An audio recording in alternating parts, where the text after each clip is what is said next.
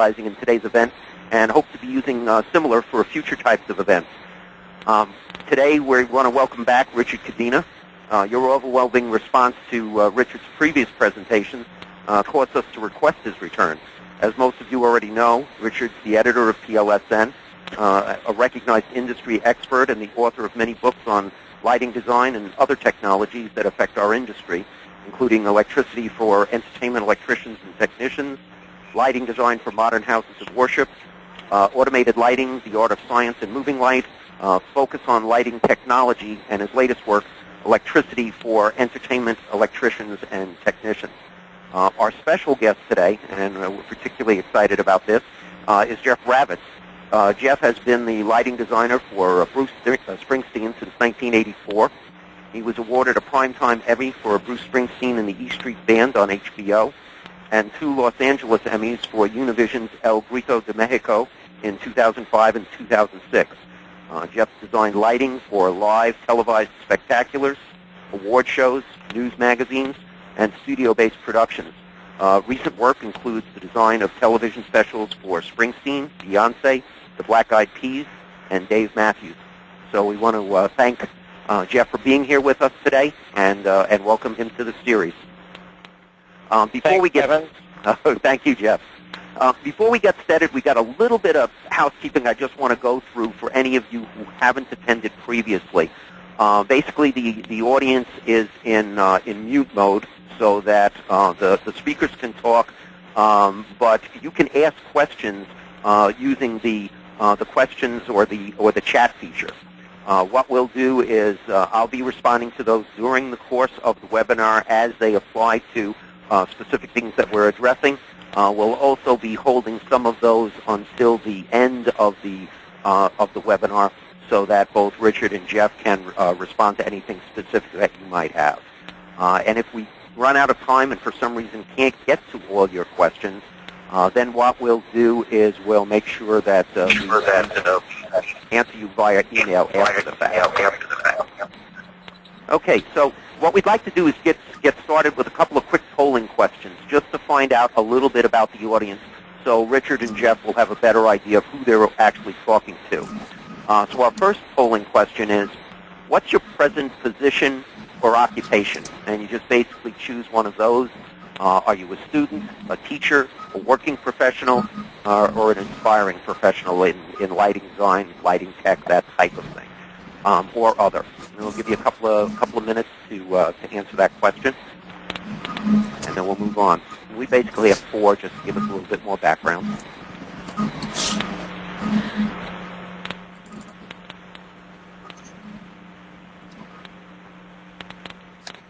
All right. We've got 90% of you that have voted, so we'll uh, we'll go ahead and we'll close that one out. And basically, your response there: um, 9% of you are students, 6% are teachers, 63% are working professionals, 20% are aspiring professionals or lighting designers, and 2% uh, fall into the other category. Okay, our second polling question then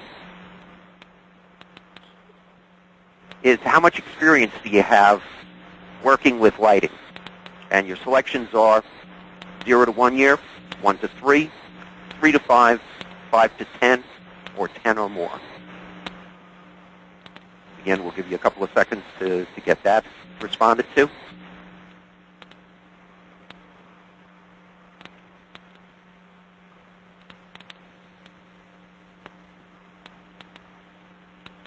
Okay. We've got about 90% of you that have responded to that as well.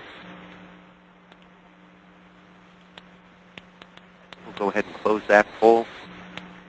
Basically, your response there, uh, 4% or 0 to 1, 10% are 1 to 3, 16% are 3 to 5, 26 are 5 to 10, and 43% are 10 or more.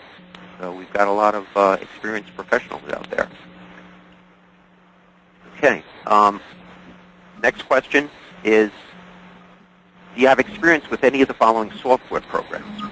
AutoCAD, WYSIWYG, LD Assistant, Vectorworks, or ESPN Vision? Gives us a better idea. You know, Richard and, and Jeff both have a lot of experience in this area and their own, you know, personal preferences just like to get an idea of the audience that we're speaking to. Yeah, that's ESP Vision. I'm Uh, sorry. Isn't that what I have there? I, what I say, EPS? You said ESPN. You know, Oh, it's experience well, I, in front I watch too much sports, audience. I guess, you know? Okay, give you a couple extra seconds here.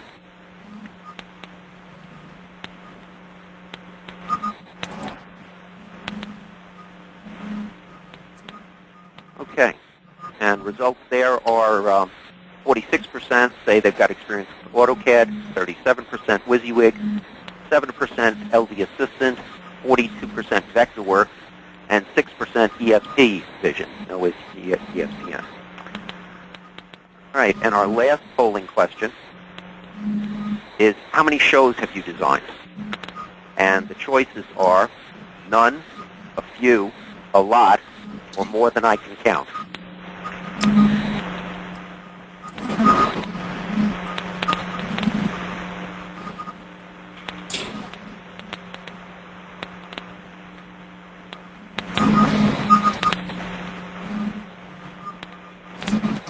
Real active participatory audience this time, Richard. We get up to like 90% plus on, on every one of these polls, so they're, they, they really want to jump right in and participate. Okay, and the results on that one are 13% with no um, ex- no design experience or haven't done any shows, 36% a few, 25% a lot, and 26% more than I can count. So we want to thank you for uh, your response there, and I'll go ahead and we'll turn this back over to uh, to Richard.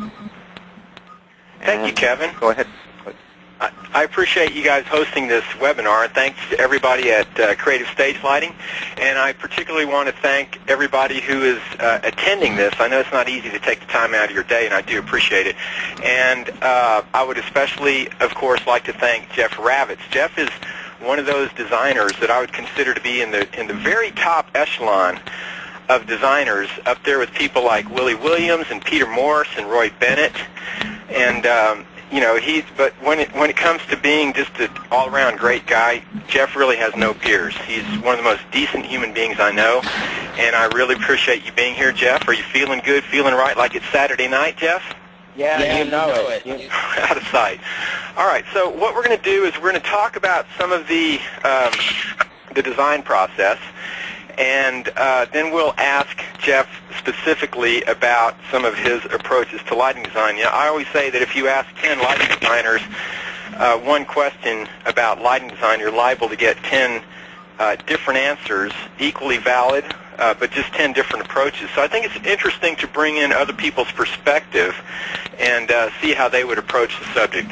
But some of the things we're going to be talking about, and we'll talk about these in more detail, but we'll be talking about visibility, revealing the subject, aesthetics, mood and energy, depth and separation, focusing attention. We'll talk about lighting for video, modeling the subject, illuminant targets, uniformity, highlighting the set or architecture, the truck pack, and the budget. So starting right off the bat, uh, just to give you guys a little background, a couple of weeks ago I went and saw one of Jeff's show, one of Jeff's shows. It was uh, Bruce Springsteen and the E Street Band. I took a bunch of pictures and I inters- interspersed them in this uh, presentation.